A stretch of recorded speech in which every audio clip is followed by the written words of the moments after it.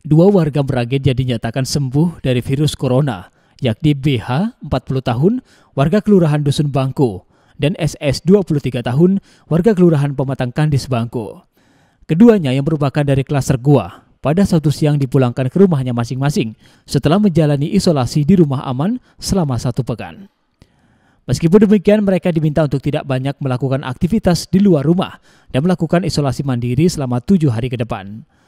Warga pun diminta tidak khawatir dengan dua orang yang dinyatakan sembuh karena sudah melalui tes sesuai dengan prosedur COVID-19 dengan dua kali uji swab dengan hasil negatif.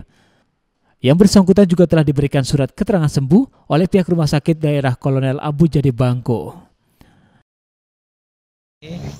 kita mengembalikan pada keluarganya eh, pasien COVID-19 yang sudah negatif ya yang tadi dia positif setelah mengalami perawatan di rumah sakit umum sebagai status PDP lalu pada sore kemarin sudah keluar hasil swabnya bahwa dia sudah negatif.